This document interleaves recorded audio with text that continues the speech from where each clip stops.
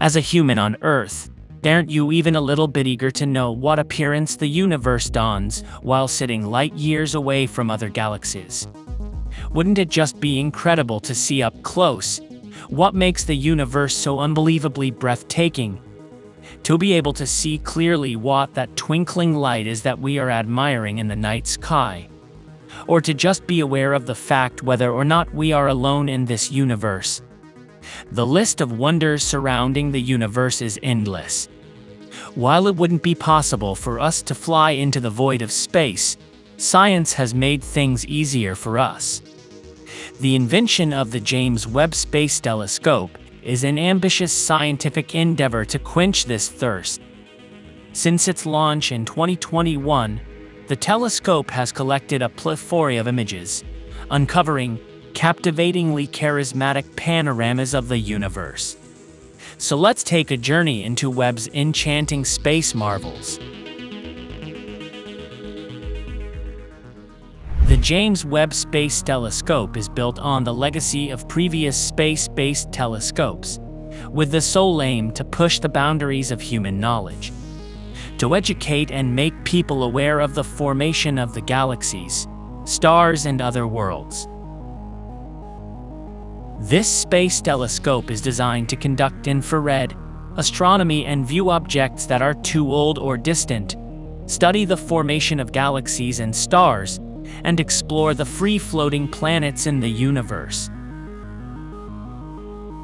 In its first expedition, the telescope was stationed on a solar orbit near the Sun-Earth Lagrange point, about 930,000 miles from Earth.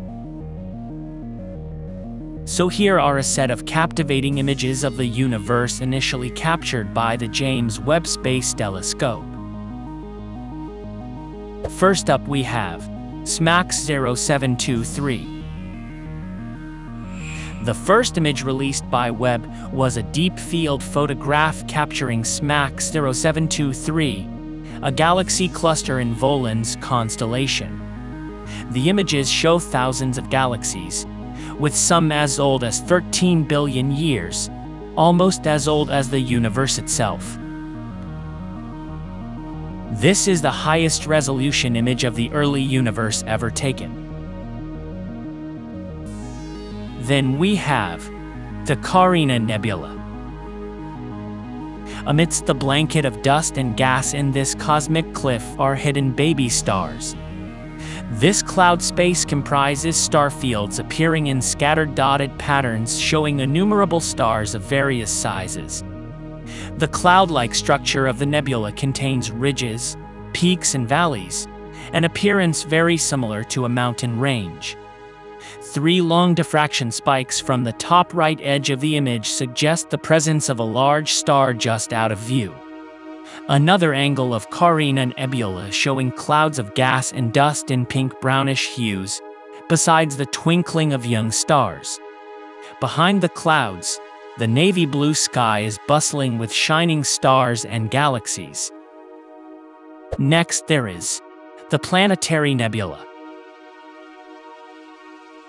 Shaped like an irregular oval, with lacy, reddish-orange plumes of gas and dust, the insides of this planetary nebula containing gas and dust emit a bright blue glow. This is basically a dying star that is giving out gas and dust, captured intently by Webb. Look closer and you will see a glowing white ring separating the red and blue gases. In the center of the rings are two stars, one glowing much brighter than the other, with diffraction spikes radiating out from it. In further stages of the dying star, this oval-shaped nebula is glowing because of the bright blue gas it is radiating. A closer look will show you two separate ovals of reddish-pink gas appear stacked on top of each other, inside the lacy blue gas clouds. In the center of the nebula, two stars glow close to each other. One star looks more red, while the other appears more yellow. Now take a look at the Southern Ring Nebula. These are two stars within a misshapen oval southern nebula that is slightly angled from the top left to the bottom right. On the left, you will notice two stars almost overlapping at the center. The top left star appears white and the bottom right appears red. A large, almost solid white oval surrounds the central stars. At right, the image shows one prominent star at the center. A large translucent pink and red irregular oval surrounds it. Let's proceed to Stephan's Quintet. This is a group of five galaxies appearing to be closer to each other.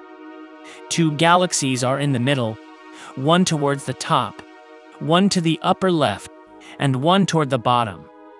Four galaxies out of the five appear to be touching, while one remains somewhat separated. Though different in size, shape, and structure, all five galaxies have a bright white core. There is another Stephan's quintet with three visible spiral galaxies, with tendrils extending out from their glowing centers. The galaxy farthest to the left has vibrant blue lacing surrounding the oval-shaped light of the galaxy. Spend a moment staring into the picture and you'll find the galaxies placed against a field of sparkling stars and other, farther galaxies.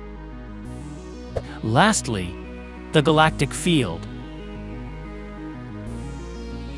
This extragalactic field comprises hundreds of galaxies differing in shapes, colors, and sizes.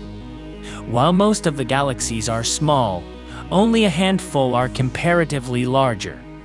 Upon closer look, you will find a few stars scattered and some with 8-point diffraction spikes, while others have additional spikes due to a combination of image exposures. It is a mesmerizing field of glistering stars up there way beyond the universe we reside in. What was impossible for the naked eyes to spot has been made possible with science. Does this mean that in the near future, we will be able to spot planets harboring alien civilizations and much larger twinkling galaxies? Stay tuned for part 2 of the galactic world captured by the James Webb Space Telescope, as we bring to you more magnificent pictures of our universe. If you found this video intriguing, hit that like button, and don't forget to subscribe to Edge of the Universe. Hit the bell icon to stay updated as we unravel many more mysteries.